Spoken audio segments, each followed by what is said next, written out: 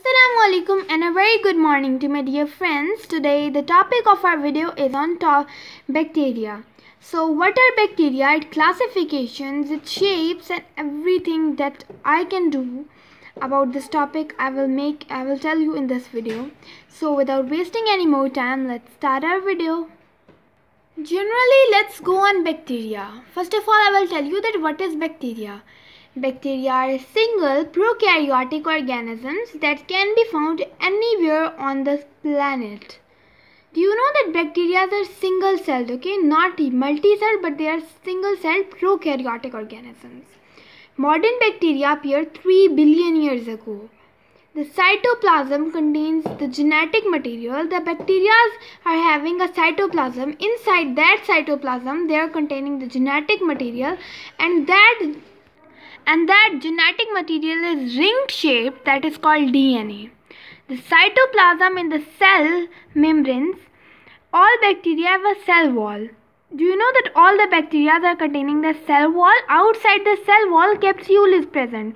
That capsule protects the cell and is responsible for the diseases caused by sun bacteria. Bacteria have the ability to adopt and, and reproduce. Bacteria have an ability to adopt and reproduce according to their surrounding and they are capable for sexual plus asexual reproduction means they can do both kind of reproduction asexual also and sexual also. Now let's go on classification of bacteria. Most widely expected taxonomic classification of bacteria is Bergey's Manual of Systematic Bacteriology. Bacteria are divided into four divisions according to the character of their cell wall. Each division is divided into sections according to the in, in this they were telling that bacteria are divided into four kind of divisions okay now they are further dividing into some major major parts those are gram stain reaction cell shape cell arrangement motility oxygen requirements nutria and metabolic properties now, who was the person to discover the bacteria? Do you know who discovered bacteria? Anton van Leeuwenhoek was the person to discover bacteria in 1674. He discovered the bacteria in the rainwater. The first and after that he discovered protozoa also. Now, bacteria are divided into three shapes: bacilli, cocci, and spiral. Now let's go in their detail. What is bacilli? Bacilli are rod-shaped bacteria. Bacilli divide in one plant producing a bacillus or diplobacillus. For example, rod-shaped bacteria are coli. So guys, for your ease, I am showing you the diagram also of cocci, bacilli and spiral. Cocci shapes are like that, bacilli are like that and spirali are like that.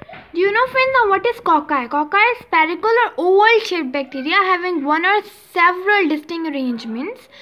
They are having several kind of arrangements based on their plans of division. Means they are not having a single type of plan that they will divide into this and that. But they are having many kind of plans on the division and their distinct arrangement is also done based on that on that plan through which they divide. If division is 1, the plan would be Diplococcus or, or Streptococcus arrangement. Now spirala, uh, spirala are just the spiral are just the coil shaped bacteria.